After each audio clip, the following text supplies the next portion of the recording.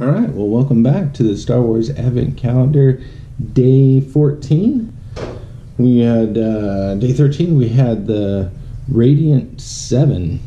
was a spaceship that was the opening scene of Phantom Menace. That was our poll from yesterday. I wasn't quite sure what it was, but I had some help from uh, some friends online that told me what this was. I couldn't, man, I couldn't figure it out for the life of me.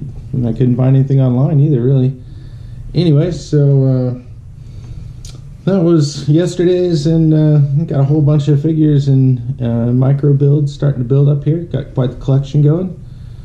I'm gonna pull them all off the out of the way, and let's see what we got in window number 14.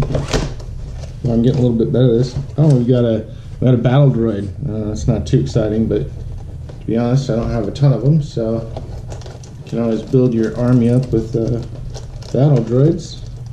This one was set up pretty good for me to pull out too. That's good.